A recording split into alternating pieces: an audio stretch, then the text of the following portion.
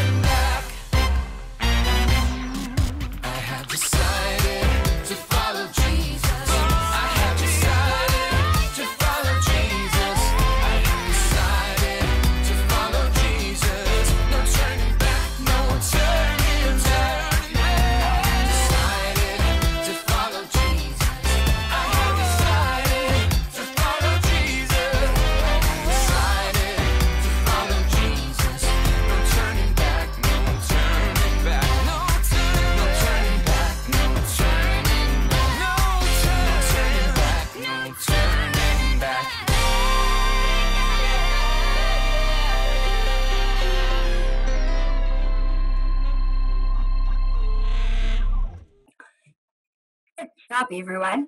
Are you tired from all that dancing? B I B L E spells the word Bible. The Bible is a book that God wrote, and everything in the Bible is. That's right. Everything in the Bible is true. Today's story comes to us right from the Bible. We can talk God anytime we want. And we have a special name for when we talk to God. That name is prayer. Daniel was a man who loved talking to God. Three times a day, every day, he would sit in his house by the window and pray to God. Daniel would thank God, he would ask God for help, he would tell God about his life. One day, the king made a law that said that no one could pray to God. They could only pray to the king. Well, Daniel kept praying to God three times a day, every day by his window. He prayed for help. He prayed thanks. He talked to God. Daniel was arrested for breaking the law, and the punishment for praying to God was to be thrown into a den of lions. Can you guys roar like a big scary lion? Can't hear. Can we try that again? Whoa, that was some scary lions there. Daniel was thrown into a den with really hungry lions. The people closed up the hole so Daniel couldn't escape. It was very scary. But Daniel didn't lose hope. Even though the lions were roaring all around him, roar, roar, roar, Daniel prayed to God for help, and God answered his prayer. Do you know what God did? God took those scary, hungry lions with their big open mouths, and God shut the mouths of the lions so they couldn't eat Daniel. Wow. The next day, the hole was opened to the den of lions. And what do you know? There was Daniel sitting, and the lions were sitting all around him. And that's when the king realized that Daniel had prayed to God and God had answered him. And that was the day that the king started believing in God. The story of Daniel teaches us that we can talk to God anytime we want. We can talk to him by praying. Whenever we pray, we can ask God to help us. We can say thank you. We can talk to him. We can ask for his advice. Let's watch another video all about Daniel and the lion's den And when you hear those lions roar, roar along with them. Now I have some questions for you. Don't worry if you don't want to answer them now. They're all on the teaching notes, so your family can look at them anytime you want. So, what would Daniel do by his window three times a day? That's right, he would pray. What law did Daniel break? The king said that no one could pray to anyone but him, but Daniel still prayed to God. What is it called when we talk to God? Prayer. What are some things that we can ask God to help us with? I know I ask God to help me with my schoolwork, with helping me be patient with my brother with my dog. I ask Him to help me to be kind to other people. I thank Him for my mum, for my dad, for my brothers and my sister. I thank Him for my dog and cat. And I can thank Him because He is God and He's your best friend. Let's say this poem together to help us remember the story. And don't worry, the poem's in your teaching notes too, so you can keep going back to it. Let's do it. Daniel was thrown into the lion's den. The lion's den. The lion's den. Daniel was thrown into the lion's den because he prayed to God alone. God sent his angel to the lion's den. The lion's den. The lion's den. God sent his angel to the lion's den and he shut the lions' mouths. Let's pray together. Dear God, thank you that you love us. Thank you for sending Jesus, your Son, to earth for us. Thank you for being there for us and thank you for helping us. Thank you that you love us and watch over us. And thank you that we can talk to you anytime we want. We love you, Jesus. Amen. Well, now it's time for craft and colouring in. Your family will help you to do your lion crafts, and we'd love to see some photos or videos or pictures of your finished craft. And we look forward to seeing you next week.